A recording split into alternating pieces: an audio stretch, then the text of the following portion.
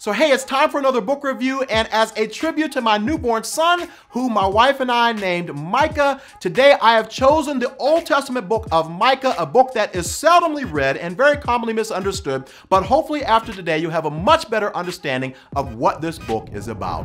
Coming up.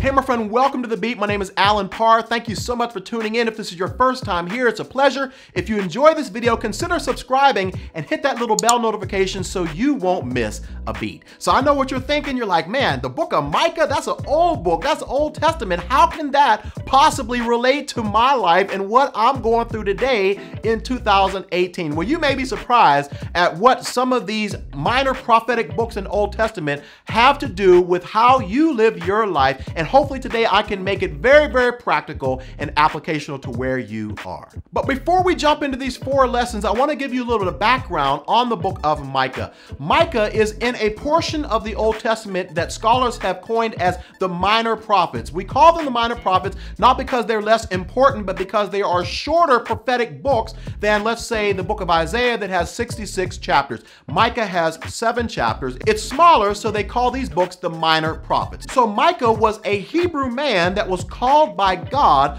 to be a prophetic voice to the nation of Israel, and his main responsibility was to expose or call out the sinful practices of his day, which could include fraud, it could include oppressing the poor, or lying, murder, theft, greed, and things like that. And real quick, if you enjoyed this video and you want to learn more about the minor prophets, let me know in the comment section below. Okay, what can we learn from this book that can apply to our lives? Okay, lesson number one, there is a danger in premeditated sin. Micah chapter 2 verse 1 says this, Woe to those who plan iniquity, to those who plot evil on their beds. So throughout the Bible, God clearly distinguishes between what's called intentional sin and unintentional sin. And unintentional sin might be something like, hey, you're going about your way, not really thinking about sin, but you are tempted by something that you weren't expected to be tempted by, and you fall into that sin. Now, God hates that sin, but what he hates more is somebody who is making plans and provisions to sin against God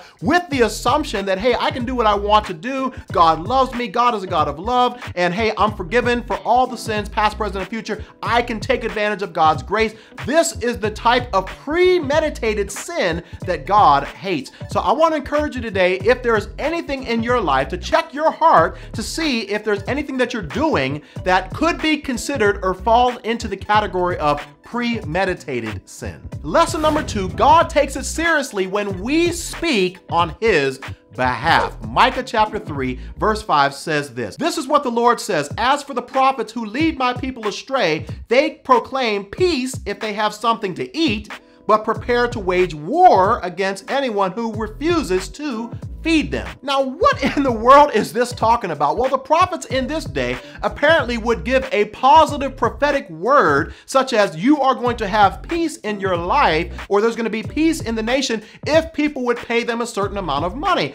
But if people didn't pay them, then they would prophesy that there would be war coming or bad things happening to them in hopes that the people would be hungry for another word from God in terms of how they should govern themselves for the upcoming war, and then they would be willing to pay that prophet more money for another word from God. And God says, hey, you prophets are in error. So God takes it very seriously whenever we say, thus says the Lord, which is the reason why we have to be careful when we go about our Christian life and we say, you know, God told me this. I was speaking to God and God said this. God told me that. God said this. God said that. God, see, we as Christians go around all the time and we're constantly throwing those words around. God told me. God said this. We have to be careful because in the Old Testament, anyone who spoke on God's behalf as a prophet, and if that word did not come to pass, the Bible says that this person was stoned to death. I think that many Christians today would be much more careful about saying God said this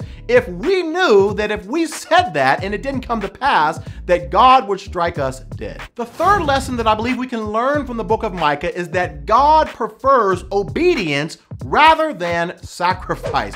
Micah chapter 6, verses 6 through 8 says this What can we bring to the Lord? Should we bring him burnt offerings? Should we bow before God Most High with offerings of yearly calves? Should we offer him thousands of rams and 10,000 rivers of olive oil? Should we sacrifice our firstborn children to pay for our sins? You see, in the Old Testament, the way that you would be atoned or forgiven of your sins is that you would bring a certain animal, whether it may be a dove, a pigeon, a bull, a goat, or whatever that particular sin called for, and you would bring it to the priest, and then that priest would sacrifice that that animal on the altar and you would be forgiven. And so the people are basically saying, what can we give to pay for our sins? And Micah comes back and says this, No, O people, the Lord has told you what is good, and this is what he requires of you, to do what is right, to love mercy, and to walk humbly with your God. Micah is basically saying, hey, I'm sick of your sacrifices. Stop bringing these sacrifices, just assuming that that's what I want. He says, hey, that may forgive you of your sins, but that's not going to deal with the heart issue. He says, instead, I've already told you what I want you to do. Number one,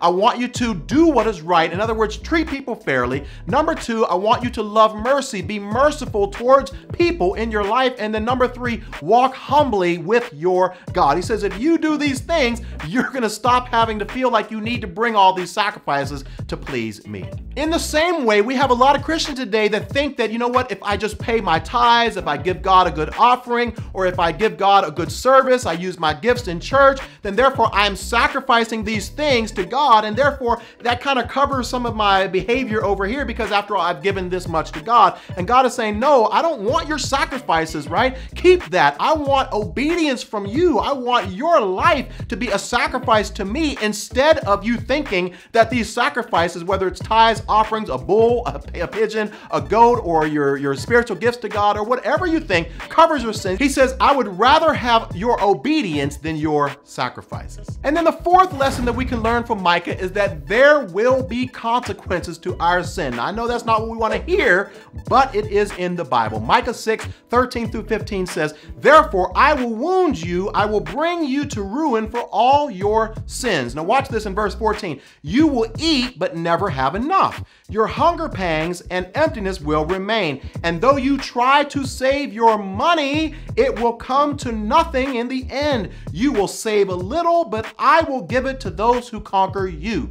Verse 15, you will plant crops, but not harvest them. You will press your olives, but not get enough oil to anoint yourselves. God is basically saying the things that you think would bring satisfaction normally are no longer going to satisfy you. All of your attempts to gain money and get wealth are not going to work because God, who controls everything, is not going to allow you to put these things over him. And finally, he says, hey, your efforts to build and plant and grow things aren't gonna work either because once again, until you get these things out of your life and put me first, I'm not gonna bless your efforts. So I know that wasn't a feel good message, but that is what the book of Micah is all about. It was about a man who was called by God to expose the sinful practices of the people in the Old Testament in hopes that the people would turn from their ways and repent. If you found this video helpful in any way, feel free to share it with a friend. Also, if you haven't done so already, I would love it if you would subscribe. Check out some of the other videos on this channel. Thank you so much for watching. I'll see you next time on